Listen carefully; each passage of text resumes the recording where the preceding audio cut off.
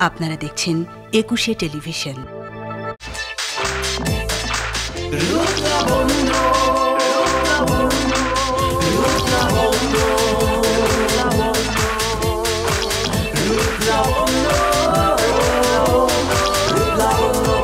Beauty begins the moment when you decide to be yourself প্রত্যেক মানুষ তার নিজের মতো করে সুন্দর। নিজেকে সুন্দরভাবে প্রেজেন্ট করতে, নিজেকে ভালোবাসতে হয়, নিজের কাজ নিয়ে আত্মবিশ্বাসী থাকতে হয়।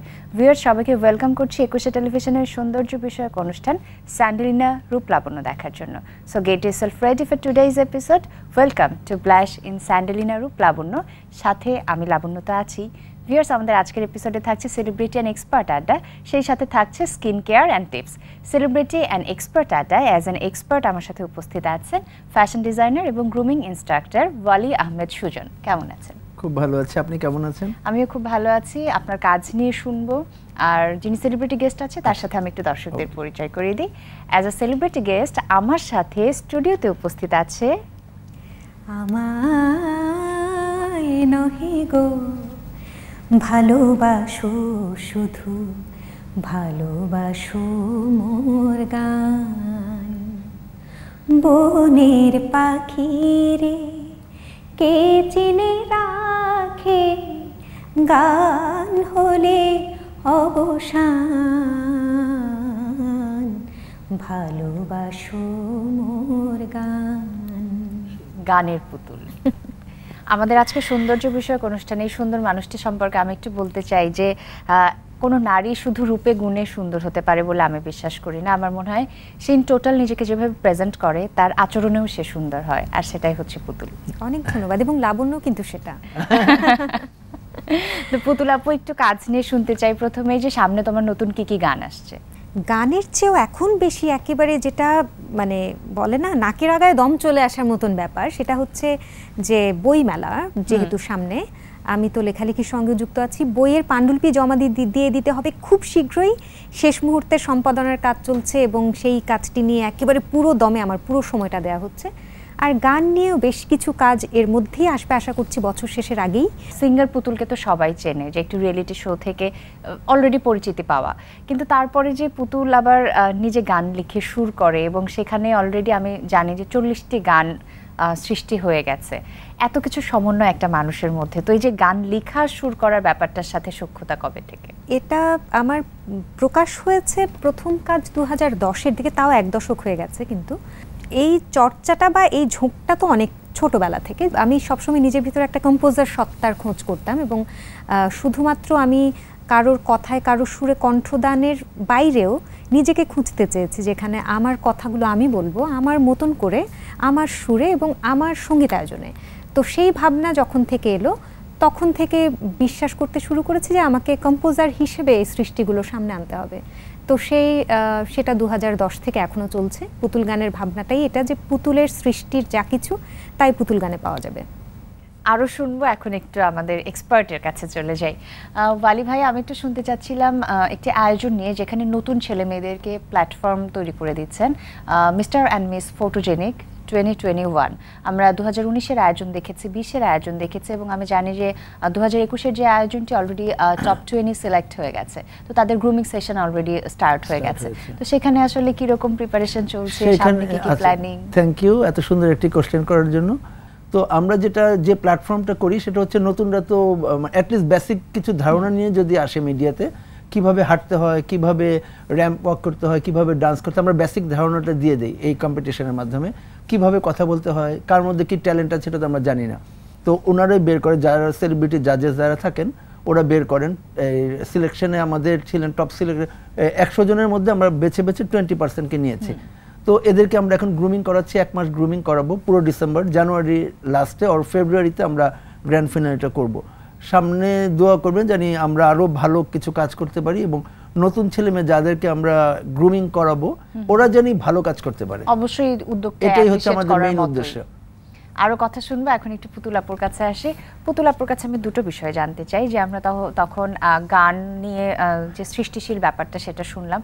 এখন শুনব লেখালেখির ব্যাপারটা আসলে পুতুল নিজেকে কবে আবিষ্কার করেছিল, যে আমি এটাও সৃষ্টি করতে পারি, লেখা তৈরি করতে পারি, এবং এবারের বইমেলায় কি কি টপিকের উপরে বই থাকবে? নিজে সৃষ্টি করতে পারি এই ভাবনা তো অত শৈশবে আমার ভিতরে ছিল না। তখন একেবারেই নিজের মনের আনন্দে নিজের খেয়াল খুশিতে যা কিছু ভাবনা আসতো, এলোমেলো, শিশু শিশুতোষ তাই লিখে রাখতাম। এবং গান আর সাহিত্যটা কিন্তু আমার একসঙ্গে শুরু হয়েছে। মানে একেবারেই শৈশবে যেটা আমার সাহিত্যের ঝোঁকটাও আমার পারিবারিক পরিমণ্ডলের কারণেই পাওয়া। আর আত্মপ্রকাশটা হয়েছে আমার সংগীত জীবনে পদার্পণের বেশ পরে। মানে গত পাঁচ বছর ধরে বই প্রকাশিত হচ্ছে নিয়মিত। বইমেলা হোক বা না হোক, আমাদের তো প্রস্তুতি রাখতে হবে। আর আমি যেহেতু সারা বছর ধরে ছোট ছোট করে লিখে প্রস্তুতি নেই মানে একদম শুধু মেলা আসবে বলে মৌসুমী লেখক বা শৌখিন লেখক তো নিজেকে সেভাবে ধরি না। আমি সারা বছর জুড়েই লিখতে থাকি। কবিতার বই একটা আসবে আর উপন্যাস আসবে, বড় কাজ যেটা, বড় প্রকল্প। এবং সেখানে এবার একজন সংগীত শিল্পীর টানা পড়েন। তার জীবন চলার পথের নানান অভিজ্ঞতা নানান ঘাত প্রতিঘাত সমস্ত কিছু নিয়ে এবার উপন্যাসটা তো আবার একটু ভাইয়ার কাছে আসি। ভাইয়া যখন নতুন ছেলে মেয়েদেরকে খুঁজে বের করার দায়িত্বটি নিয়েছেন তাদের মধ্যে কি কি কোয়ালিটি থাকেন বা মানে কি কি কোয়ালিটি খোঁজেন আপনারা বা কোন বিষয়গুলোকে প্রাধান্য দেন? আমরা যে কোয়ালিটিটা খুঁজি ওরা আগে কিছু নিজেরা কিছু জানে কিনা। এখানে আমরা যেটা মেইনলি দেখা হয় এডুকেটেড পড়াশোনার ব্যাপারটা ফ্যামিলি ব্যাকগ্রাউন্ড সিভিটা দেখলেও কিন্তু বোঝা যায় যে আসলে মানে আছেন অনেকে হাতে লিখে দায় সারাভাবে একটা সিভি দিয়ে দিল প্রেজেন্টেশনের ব্যাপার বা ওর গেট আপ দেখলেও বোঝা যায়। তারপরে যাদের মধ্যে আমরা মনে করি যে হ্যাঁ ওদেরকে আমরা তৈরি করতে পারব তারপর আমরা ওদেরকে যে এখন গ্রুমিংটা করাচ্ছি। আচ্ছা তো আরও শুনব এই প্রজেক্টটি নিয়ে আমি আবারও পুতুল আপুর কাছে আসব। তো আমি একটু সেই পুতুলের কথা শুনতে চাই যে ছোটবেলায় কম্পিটিশন করে বেড়াতো গোল্ড মেডেল উইন করতো সেই লাইফটা কেমন ছিল তোমার? রিয়ালিটি শো বলতে নতুন কুড়ি এবং শিশুদের জন্য প্রতিযোগিতা বলতে একটাই মাধ্যম ছিল। এবং নতুন কুড়ি হচ্ছে একেবারে স্বপ্নের একটা মঞ্চ। তো সেই স্বপ্নের মঞ্চে যখন আমি একটা মফস্বল থেকে এসে বাবার হাত ধরে এসে আমি নতুন কুড়িতে প্রতিযোগিতা করে দুটো পুরস্কার জিতলাম দেশের গানে প্রথম এবং পল্লীগীতিতে দ্বিতীয় তখন আমার আত্মবিশ্বাস বলতে পারো একেবারে তুঙ্গে যে আমি তো তাহলে বিভিন্ন মঞ্চে তো নিজেকে যাচাই আমি করতেই পারি। ধাপে ধাপে ক্রমান্বয়ে এই জাতীয় পর্যায়ের প্রতিযোগিতাগুলো অনেকখানি আত্মবিশ্বাসী করেছে এটা ঠিক। আমি আরেকটু শুনতে চাই তোমার কাছে যে এই যে তোমার মধ্যে পরিপাটি ব্যাপারটা সেটা আমি অনেক আগে থেকেই তোমার মধ্যে লক্ষ্য করেছি। আমি একটু তোমার এই গেট আপ নিয়ে শুনতে চাই যে একটি শোতে নিজেকে প্রেজেন্ট করার সময় তুমি আসলে কি কি বিষয় মাথায় রাখো? যার ভিতরে শিল্প বাস করে তার প্রতিটা কাজ শৈল্পিক হওয়া দরকার। আর যখন কাজের ক্ষেত্রে যাচ্ছি, পেশা, পেশাদারি কাজের ক্ষেত্রে, সেখানে প্রথমত মাথায় রাখছি আমি কি অনুষ্ঠানে যাচ্ছি, সেখানে শ্রোতা গোষ্ঠী, দর্শক গোষ্ঠী কারা আছেন এবং সেটা আদৌ আমার ব্যক্তিত্বের সঙ্গে, আমার ভাবমূর্তির সঙ্গে যায় কিনা। এই আর কি। আর সেটার প্রতিফলন তো আমরা দেখতেই পাই মানে সোশ্যাল মিডিয়ায় তোমার ছবিগুলোতে। তো আমি একটু ভাইয়ার কাছে আসব এবারে। ভাইয়া একটু গ্রুমিং সেশন নিয়ে কথা বলছিলাম যে আপনার প্রজেক্টে গ্রুমিং সেশন শুরু হয়ে গেছে আর আপনার তো একটা আলাদা স্কুলও আছে গ্রুমিং স্কুল grooming অ্যাসোসিয়েটস হ্যাঁ। সেই সময়ে। কি মানে আসলে নতুন করে যে একটা প্রজেক্টে হাত দেওয়া বা একটা স্কুল করা ফ্যাশন নিয়ে তো সেই সময়টা কেমন ছিল? আপনাকে মানে কি কি ফেস করতে হয়েছে বা তখন কতটুকু অ্যাপ্রিসিয়েশন পেয়েছিলেন? এখনকার ছেলেমেয়েরা কি তাড়াতাড়ি স্ক্রিনে আসতে চায়।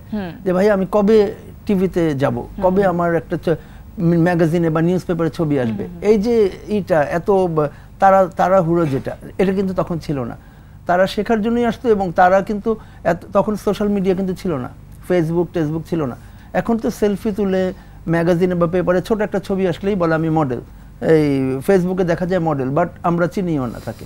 হ্যাঁ তো তখন এই ব্যাপারগুলো ছিল না। তখন শিখতো, শিখে তারপর নিজের যখন একটা ওইভাবে নিজেকে তৈরি করার পরেই সে কাজ, আমরা যখন কাজে ঢুকাতাম ফটোশ্যুট করো বা বিভিন্ন এজেন্সিতে মডেল আমার কাছে চাইতো, তখন কিন্তু আমরা মডেলদের প্রোফাইল সাবমিট করতাম। বাট যারা এই যে এখনকার ছেলে মেয়ে ফ্যাশন ইন্ডাস্ট্রির ওরা কিন্তু আসে আর চলে যায়। সব দিন না। সেক্টরে সব sector-এ, but আমরা আরও কথা বলব একটু বিরতি থেকে ঘুরে আসি এই thank you. পর্যায়ে ভিউয়ার্স আপনারা দেখছেন স্যান্ডেলিনা রূপ লাবণ্য আমি লাবণ্য এই পর্যায়ে একটি ছোট্ট বিরতি নিয়ে নিচ্ছি। আমাদের সঙ্গে ছিলেন আশা করছি আমাদের সঙ্গেই থাকবেন।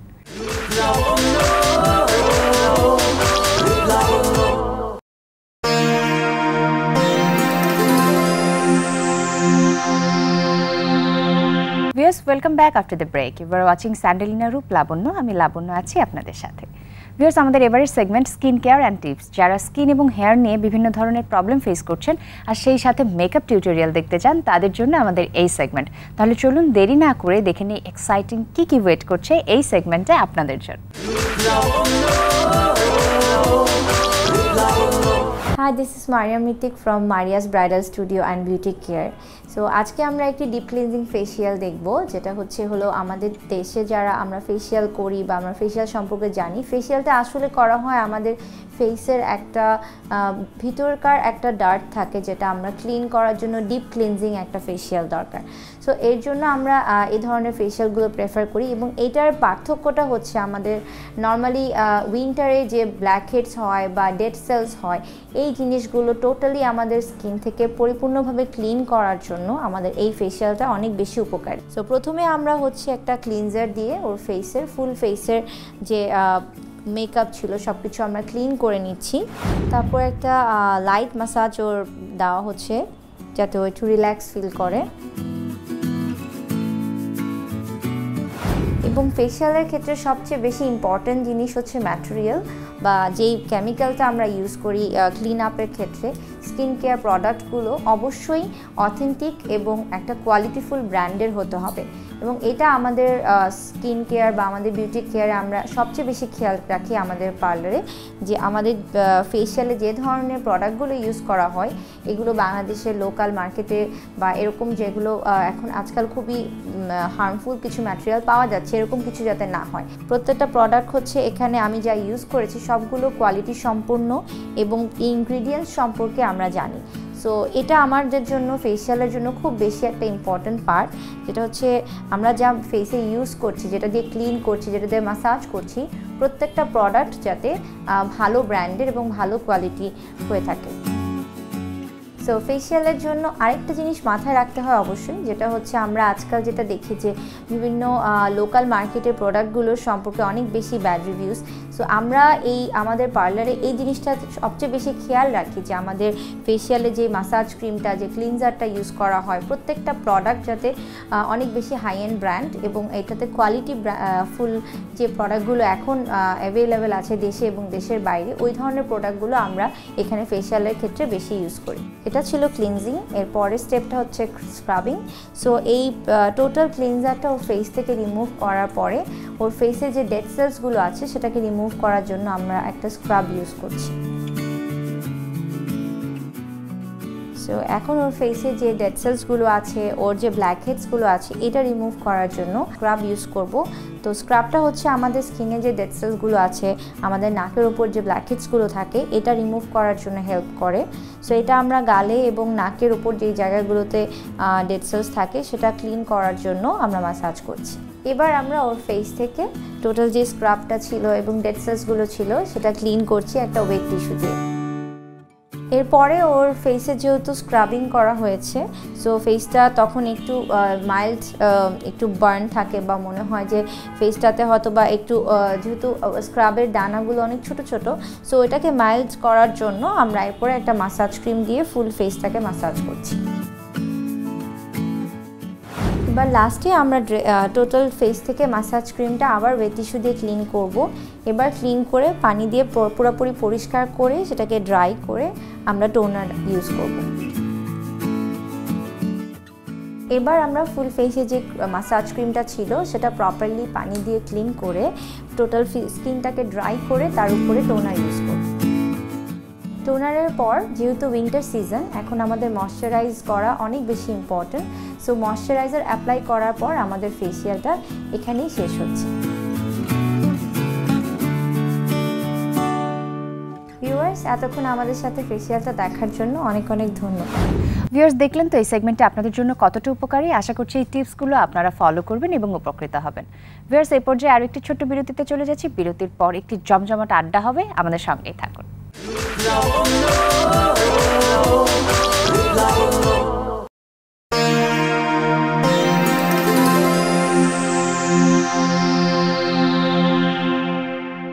ভিউয়ার্স ব্রেকের পরে সবাইকে আরও একবার ওয়েলকাম করছি স্যান্ডেলিনা রূপ লাবণ্য অনুষ্ঠানে। আমি লাবণ্য আছি আপনাদের সাথে। ভিউয়ার্স আমরা আড্ডায় ছিলাম আড্ডা তো জমে উঠেছিল এখন আবার আমরা ফ্যাশন নিয়ে গান নিয়ে কথা তো বলবোই তার সাথে কথা বলব সৌন্দর্য নিয়ে। তো সুন্দর মানুষটাকে দিয়েই আমি শুরু করি এবারে। সেই সময় যখন তোমাকে দেখেছি মানে টেলিভিশন স্ক্রিনে এবং এই যে দু হাজার বিশ সালে এসে আমি কোনো চেঞ্জ পাই না। শুধু চেঞ্জ পাই যে হেয়ার কখনো একটু লং হয় কখনো কার্ল হয়ে যায়। তখন আবার বয় কাট ছিল বয় কাট আর হয়নি। শুধু হেয়ারে একটু চেঞ্জ দেখতে পাই মানুষটার কোনো পরিবর্তন নেই। ফিটনেসের জন্য তুমি কি কি টিপস ফলো করো? আজকে সব রিভিল করো এগুলো আমি ফলো করব এবং দর্শকরা ফলো করবে। নিয়ম মতো খাওয়া এবং ঘুম আমাদের সুস্থ থাকার জন্য যে যে দুটো জিনিস সবচেয়ে বেশি প্রয়োজন খাওয়ার ঘুমের সময় সূচি ঠিক থাকলে না এমনিতেই বাকি বাকি দিনের দিনটা অনেক সুন্দর গোছানো হয়ে যায়। তো আমার ক্ষেত্রে আমি সব বেশি মানি সময়, সময়টা আমি মানে খুব মাথায় রেখে চলি। আর সেখানে তো কিছু জিনিস যা আমি নিজেকে মানে সংবরণ করতে পারি একটা সময়ে যেটা খুব পছন্দের খাবার ছিল। হয়তো বড় হতে হতে দেখলাম যে এটা শুধু আমার মুখেই স্বাদ লাগছে, খুব একটা কাজের না। ওই খাবারগুলো আমি বাদ দিয়ে দিয়েছি এখন। যেমন আমি চিনি জাতীয়, মিষ্টি জাতীয় খাবার একেবারেই খাই না বললেই চলে। ভাতের পরিমাণটা খুব সামান্য মানে খুবই পরিমিত। আর স্বাভাবিকভাবে আমরা যেগুলো জানি যে চর্বি জাতীয় কিংবা একটু যেগুলো ভারী খাবার সেগুলো এড়িয়ে চলা। আর একটু হালকা কিছু ব্যায়াম তো করি যোগা করি খুব ছোট্ট মানে বিশ মিনিটের হয়তো কিন্তু নিয়মিত করলে সেটাও কিন্তু কাজ হয় আমার ক্ষেত্রে। একটু হাঁটা এই জিনিসগুলোই। আপু স্কিন কেয়ারের জন্য কি কি করো? মানে স্টেজ শো যেহেতু করো হেভি মেকআপ নিতে হয় কিন্তু তোমার স্কিন খুব মেনটেন আমি কখনো পিম্পল দেখেছি বলে আমার মনে পড়ছে না। তো তুমি স্কিনটাকে কীভাবে মেনটেন রাখো একটু বলো? আমি খুব কম কাজ করি এবং সম্ভবত কম করি বলেই ঠিক আছে। মানে কম বলতে আমি কখনো ত্বক নিয়ে বাড়তি টানা হ্যাঁচড়া বা- বা কোথাও কোনো সেলুনে গিয়ে কোনো কিছু করা, সেটার চাইতে আমার কাছে মনে হয় পরিচ্ছন্নতাটা ভীষণ প্রয়োজন। আমি প্রতিদিনের একটা ছোট্ট নিয়ম করে একটা ছোট্ট একটা সময় ধরে হয়তো দশ মিনিট, পনেরো মিনিট একটা ত্বকের একটা যত্ন নিলাম। সেখানে খুব বেশি ফেস প্যাকের কোনো ব্যাপার নেই। আমি পরিচ্ছন্ন করি টোনার ব্যবহার করি নিয়মিত। আমি দেখেছি টোনিং করলে একটা পরিচ্ছন্ন ত্বক থেকেও কিন্তু যে ধুলো ময়লা আমরা হ্যাঁ, দেখতে হ্যাঁ। পাচ্ছি না চোখে সেটা কিন্তু পরিষ্কার হয়ে যাচ্ছে। মানে একটু হেয়ার কেয়ার নিয়ে বলো আপু যেটা বলছিলাম কখনো ছোট হয় কখনো বড় হয় কখনো কার্ল হয়ে যায়। তো তুমি হেয়ার নিয়ে বেশ একটু এক্সপেরিমেন্টের মধ্যে থাকো দেখি। তো তাও মেনটেনটা করো কীভাবে? চুলের মনে হয় আরেকটু যত্ন দরকার। মানে এটা সবসময় অনুভব করি কিন্তু সেটা একটা সময়ের অভাবে হয়ে ওঠে না কারণ চুলের যত্নটা একটু সময় সাপেক্ষ। দেখা যায় সুযোগটা হয় না সে অর্থে কিন্তু অন্তত তেলটা দেওয়ার চেষ্টা করি এবং একেবারে মানে এক রাত তেল দিয়ে রাখতে হবে এমন নয়। হয়তো আমি স্নান করার আগে হয়তো আধা ঘণ্টা বা এক ঘণ্টা আগে তেল দিয়ে চুলটাকে একটু ঠিকঠাক করে নিলাম আর কি। এটুকুই করা হয় আর মাঝে মাঝে হেনা প্যাকটা ব্যবহার করি। সেটাও কাজ হয় চুল পড়ার ক্ষেত্রে আর কি। প্রচুর পানি পান করা হয় আমার ক্ষেত্রে। সেক্ষেত্রে স্কিনটাও হাইড্রেটেড থাকে। তো এখন একটু আমরা র্যাপিড ফায়ারের দিকে চলে যাব। যে কিছু ছোট ছোট প্রশ্ন আহ, পুতুলাপুর কাছে যে পুতুলাপু যখন শপিং এ যাও থাকে না যে একটা সেগমেন্ট আমাকে ভিজিট করতেই হবে বা এই কালেকশন আমার সব থেকে বেশি। সেটা কি? মানে কোনো অ্যাক্সেসরিজ নাকি মেকআপ নাকি জুতা। জুতা সেটা আমার যেতেই হবে এবং দেখা যায় কোনো পরিকল্পনাবিহীন ভাবেও জুতা কিনে ফেলা হচ্ছে আর কি। ভাইয়ার ক্ষেত্রে কোনটা? বেল্ট. তারপর টি শার্ট ওকে এগুলো। আর যদি ঘুরতে যাওয়ার কথা বলি যে ঘোরার ক্ষেত্রে তোমার পাহাড় পছন্দ না সমুদ্র পছন্দ? আমার কাছে না এটা মনে হয় কি দূর থেকে পাহাড় আর কাছ থেকে সমুদ্র।